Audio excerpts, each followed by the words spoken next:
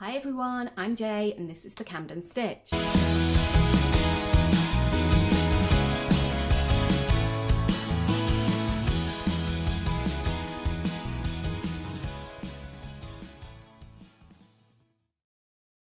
Hi, welcome back to my channel. As you can see, we are not in the yellow chair. This is just a chitty chatty update video where I'm going to tell you about what I've been up to, what I've been sewing, how they how things are coming out, a little bit of a life update. If there might be a bit of noise because um, Betsy's madly playing with a new toy and she's like hurtling across the room with it. Um, so, how are you? How have things been after Christmas? My Christmas was lovely obviously you saw my vlog of my Christmas day and that was really really lovely but then unfortunately a couple of days after Christmas um, Ian had a death in his family which we were kind of expecting for quite a long while. If you follow my fabric shop, the fabric edit, then you'll know I had to cancel my December sale because of illness in the family and that's because basically we, this event has kind of been um, in the pipeline for quite a long time. So Ian had to hurtle up to Scotland straight after Christmas to go and help clear out houses and organise things. And he was away for a week and it was a little bit grim. I did go to the pool once, which I filmed once and told you about, but um, and that was really good. And I also met up with Dee, who watches this channel. Hi, Dee. Um, and yeah, we met in the Everyman Cinema in King's Cross because there was a quite a little, quite a quiet coffee shop up there. And we had the nicest afternoon chit-chatting we got on really well and I really, really enjoyed it. And bless her, she bought me some Burda magazines, which are always welcome. A few old Burdas and I really, really enjoyed looking through them, Dee. Um, so that was really nice. But unfortunately, after that, things got a little bit bleak from this end and in the end Ian had to come back a day early from Scotland bless him what would I do without that man um, so that was a great relief to me but now he's got to go back up again for the funeral so it's just been a bit difficult since Christmas, but we're back in the swing of things now. I like my routine. I always struggle when things go off piste from the routine and now we're getting back into the routine. I went to hypnotherapy today. It was really, really enjoyable, really nice. I mean, it's the nicest type of therapy. You know, all the therapy I used to have is just like, let's think about the worst bits of your life and chew them over for an hour and then you'll leave and you'll be stuck with all those feelings and memories and then next week we can just dredge them all up again. Um, but this is like, lie down and drift off to a beautiful place and be told how wonderful things could be. And so, considering the other unpleasant, dredgy type of therapy didn't particularly work for me, if this one doesn't work either, then this one's a much more pleasant waste of money. So uh, I'm persevering with that for a little while. I'm enjoying it. It's just a pleasant experience. You come out feeling pretty good.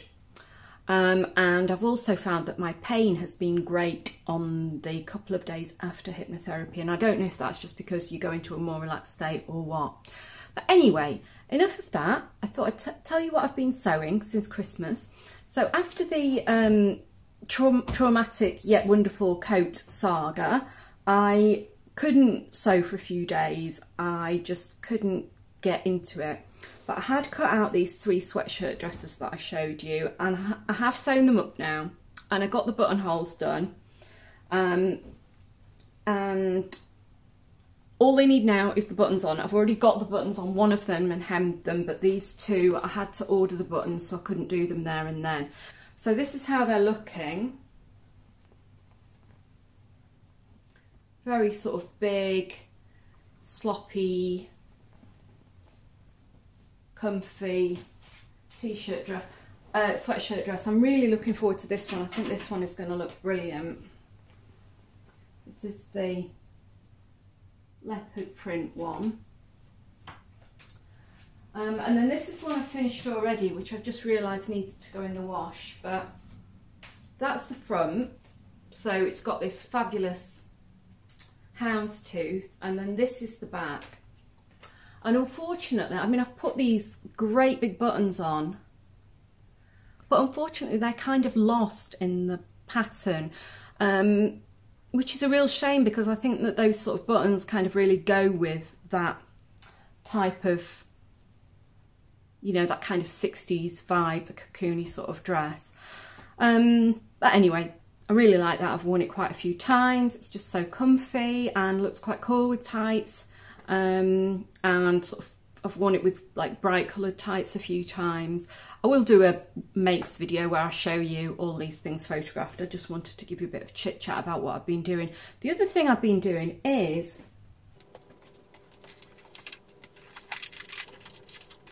I made this pinafore and I can't remember if I mentioned this pinafore to you, but I saw it on a Pinterest board a while ago. Sorry, I've lost a nail, by the way. My nails are desperate to be done. And I absolutely loved it. And I've been trying since maybe mid-December, no, earlier maybe, to self-draft it because look at how simple it is. It's got bust darts, A-line skirt. It should be so easy. And yet, it isn't. And I made four different versions, toiles and couple of versions which are wearable, but the fit isn't great. And in the end, I thought to myself, I'm just not cracking this. I'm going to see if I can find this pattern anywhere. I could only find it in America. Fortunately, I found it for 10 quid, including shipping, which is a lot of money for a pattern for me, but um, it's not out, out, it wasn't completely out of reach or ridiculous. You know, some of them were coming up at like 25 quid, shipped from Australia or whatever, and it wasn't really viable. But yeah, I found one. So I got the pattern through, made it up, and Really happy with how it's come out. This is the one that I've made. Do you know, I will, I will pop it on. It hasn't been pressed, but I'll pop it on to show you. This is how it looks. Really happy with the silhouette. Um, with, you know, a polar neck underneath it. I've actually got these buttons, which you can't quite see in this light, but um, they're quite cute. Got little pockets on it. There are a few fitting adjustments I want to make. So here's my shopping list of fitting adjustments. I could wear it like this, it's fine, but it's a dress that I would like to make multiple times in lots of different colours and lots of different lengths and variations. So I want to get it perfect. So here's what I'm going to do. I am going to do a small narrow shoulder adjustment to bring these in, right? I am going to slightly shorten these because they're a little bit long for me and lower the neckline to compensate. I am going to lower the bust dart by three centimetres. I'm going to shorten the bodice by six centimetres because my pockets are too low for me um, and yeah, I'm just a short person and all my all my shortness is in my bodice. Um, and my back, can you see this sort of pokey bit here? You can't really see. It's got there, you can see it's got like a bit of a fin at the back. I'm to slice that out um, to curve that out. Smaller shoulder adjustments, more shorten bust. That's it. Five different adjustments and I will be grand. What do you think? Would you faff about making all these adjustments or do you make something and look at it and think, I'm happy with that, it'll do? Um, I've been thinking about my Make 9 and I will do a separate video where I talk about it in detail and show you all the pics and everything. But I was thinking, one of the things that I failed on a bit last year is I toiled, toiled I toiled quite a lot of garments and got them to the stage where they were fitted or I knew what adjustments needed to be made. And then I got bored of them and moved on. And that is very kind of the opposite of, of, what I want to be doing. It's bad practice. I want to toile things, get the fit perfect, and then bang out several versions of that because, you know, you've spent all the time and effort making something that you want to look, that is going to fit you beautifully. You know, you need to, you need to actually make it, don't you? Um, so my, on my Make 9 for next year is quite a few patterns that I've spent a long, a long time fitting, but then not actually finished up making up. Um, so there's going to be lots of repeats in there. So my Make 9, there's only about seven different patterns, but I want to make about a 100 different versions of them. So I'll go into all the details and I've got sketches of what I want them to look like as well. So that'll be quite fun showing you that. So that's forthcoming. Oh, also Burda video is forthcoming. I'm going to film that later. I just wanted to kind of check in with you, say hello. The other thing that I've been up to is I have been very much enjoying this book, Sewing for Fashion Designers. Now, obviously it says fashion designers. I'm not really interested in fashion design. I am interested in... I mean, I don't really like fashion. The way I see it is fashion is it's very much tied up with consumerism and making people want something that they don't need and want something new. And I really disagree with that. I like style, right? And I think that fashion and style are different things. I think style is about looking good and it's not necessarily about creating a trend that lots of other people will want. I think it's about creating something unique to yourself. And so I'm not interested in developing a clothing line or anything like that. I just want to make things that I really like and that are unique to me. Anyway, that's by the by. This book's brilliant. I very much recommend it. It goes into a lot of detail. If you like books like the Reader's Digest Guide to Sewing, it's kind of very much in that vein. It's quite uh, methodical and step by step with all the sewing um, different processes and that is really interesting. I've been reading it on most days and I'm about three quarters of the way through so it's got a lot of meat in there. The other thing that came today is this. Obviously because I started going to the gym I immediately think oh god I must make my own thing so I've ordered this swimming costume pattern, which Laura, Specky Seamstress Laura made up as well. So I've got her kind of information about that. I've also been uh, looking at a Bluprint class on how to make swimwear and I've ordered some swimwear fabrics and I ordered the Sew Your Own Activewear book and I quite like it but I must say it's very much a pattern drafting book. So all you get all you get are patterns for four blocks. A tight fitting top, a loose fitting top, tight fitting bottom, loose fitting bottom. So that is all you get. And then you get instructions about how to draft each pattern to make each garment. And some of the garments are really, really cool. I very much like them.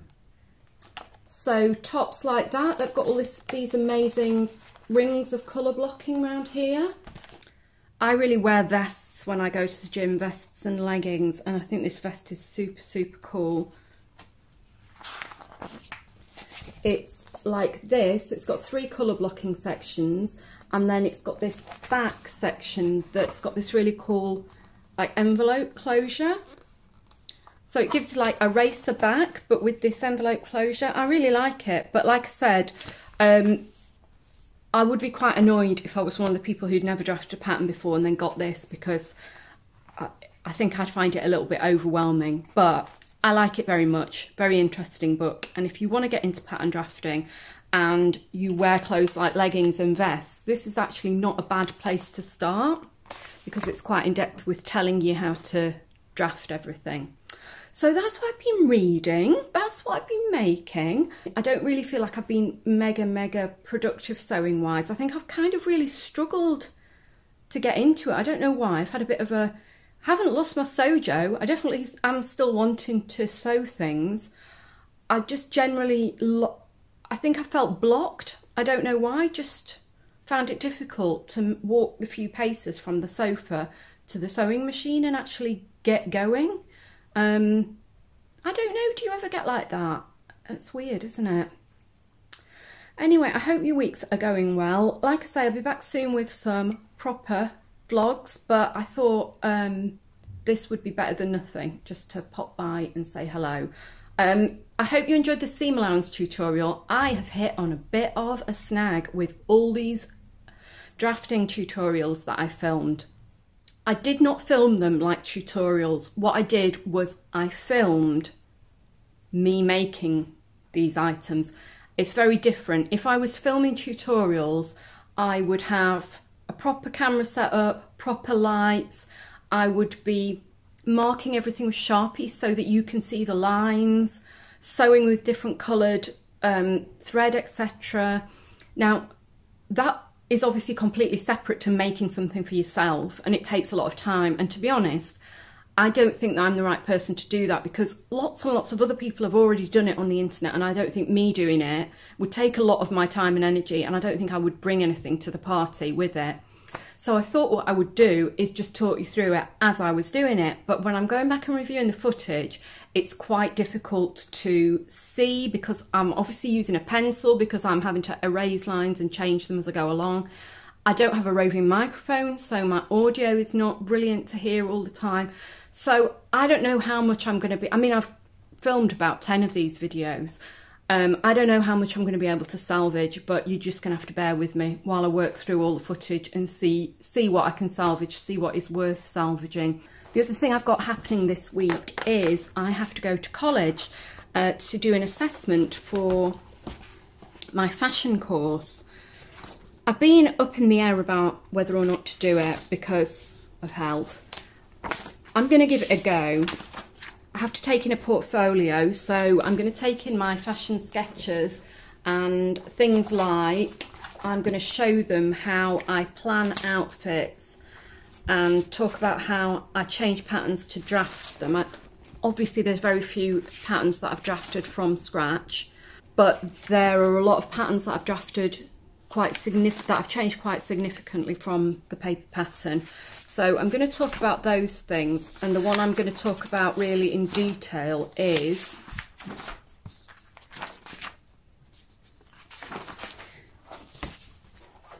this one because you can see how it originally started.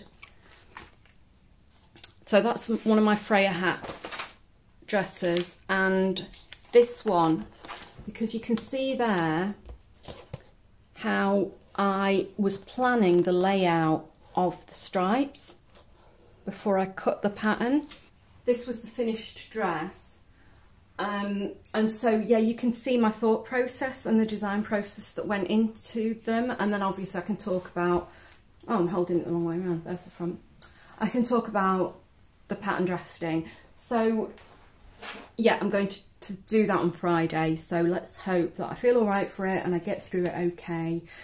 Um, and that's it for my week. I hope you're having a fabulous week. I hope it's not the week from hell because I think people call it Blue Monday, don't they? The first week back after um, the holidays with all the blues. Anyway, that is it from me today. I hope you've enjoyed my little ramble telling you about my week and I shall see you in a vlog very, very soon. Love you lots. Bye.